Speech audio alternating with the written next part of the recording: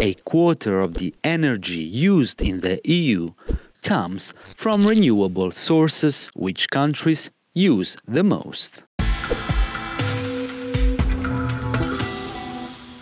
Renewable energy made up 24.5% of the EU's energy use in 2023, says the latest Eurostat report. That's a 7% growth compared to 10 years ago, but still 18 points away from the target of 42.5% set for 2030. Reaching this goal would require an annual increase of 2.6 points, when the average year-on-year growth in the last decade was only 0.79%. Sweden tops the chart of clean energy consumption with over 66%.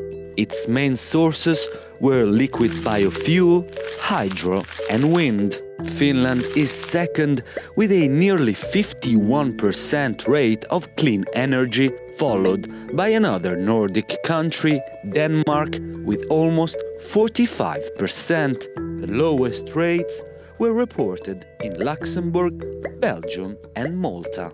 With over 46%, Albania stands out as the EU candidate country with the highest rate.